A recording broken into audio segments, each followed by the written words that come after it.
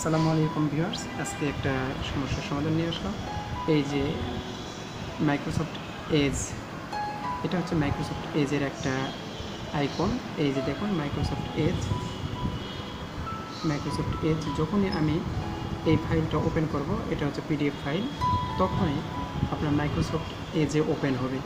দেখুন এই যে মাইক্রোসফট এজ ওপেন হয়েছে মানে আপনার হচ্ছে একটা ব্রাউজারে ওপেন হয়ে গেছে, কিন্তু আমি চাচ্ছি না এটা হোক। আমি চাচ্ছি পিডিএফ ফক্সাইটি রিডার বা অ্যাডোবি রিডার বা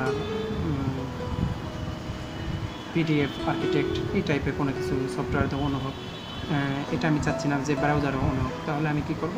সেটা আমি আজ দেখাবো। এই যে রাইট ক্লিক করব এটা।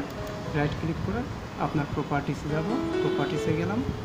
প্রপার্টিসে যে, এই যে দেখুন, এখানে ওপেন উইথ মাইক্রোসফট এজ এটাতে আপনার ডিফল্ট করা আছে, কিন্তু আমি চাচ্ছি এটাতে না হয়ে অন্য কিছু, তার চেঞ্জে যাব।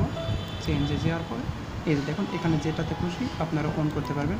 আপনারা যদি আরও এখানে সফটওয়্যার থাকে ফক্সাইটি রিডার বা অ্যাডোবি অ্যাক্রোবাট বা আপনার অ্যাডোবি রিডার বা আপনার পিডিএফ আর্কিটেক্ট আপনি সিলেক্ট করে দিতে পারেন।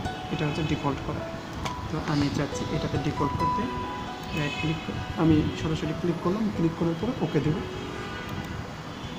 আপনারা দেখুন অ্যাপ্লাই দিন। দেখুন, আপনার সরাসরি অন হয়ে গেছে। পিডিএফ রিডারে এখন এটা অন হবে। যখনই ক্লিক করব পিডিএফ রিডারে অন হবে। এটা ডিফল্ট যে কোনো পিডিএফ ফাইল অন করলেই আমি এটাতে অন পাবো। দেখুন, তো এই ছিল আজকের টিউটোরিয়ালটা। তো ভালো লাগলে লাইক কমেন্টস শেয়ার করবেন আর সাবস্ক্রাইব করে পাশে থাকবেন।